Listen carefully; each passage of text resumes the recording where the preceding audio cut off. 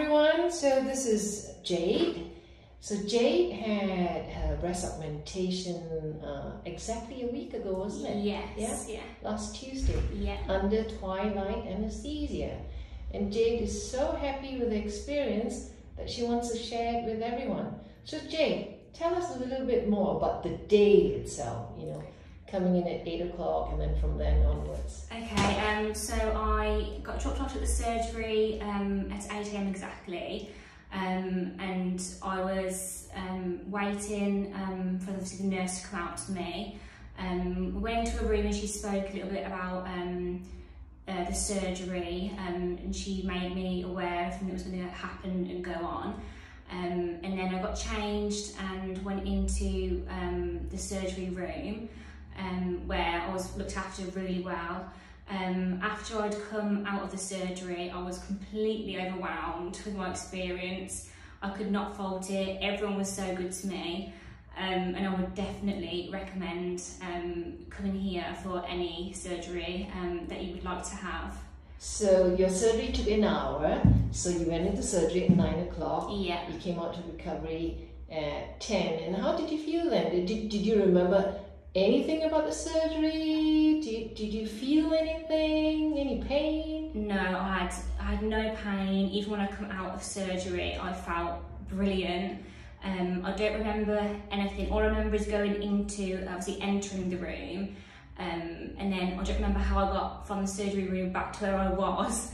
Um, but I don't really remember anything. But I woke up fine. Had no sickness or anything. I, I felt great. Yeah, that's the beauty of twilight. You don't feel anything, you don't remember anything, Yeah. and you wake up feeling really well.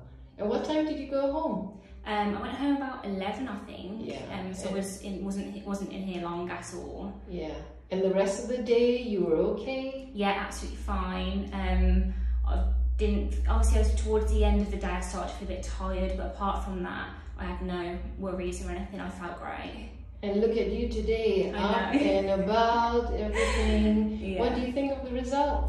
Absolutely amazing. I'm obviously I, I am really overwhelmed by it um, because I've wanted this done for ages. And at first I was very scared. I was nervous. I was thinking, shall I go ahead? Shall I not? But it's the best thing that I've ever done. I would definitely recommend anyone to get it done. You were definitely emotional. You kept Yes. crying. Crying, you kept saying, so I'm much." crying because of joy, not because of anything else. I felt a bit embarrassed after, but I was completely overwhelmed. The tears were just streaming. And how, how did you get to find out about us, Kat and Co? um, a couple of friends have had um, a surgery with yourself, Okay. and they said that, you, that I'd be in safe hands and to 100% come with you, and just don't recommend anyone else really. Just and I, I did, and I'm so glad that I did because they told me the correct information. So. Oh, thank you. And is there anything else you would say to someone who's interested in having breast augmentation?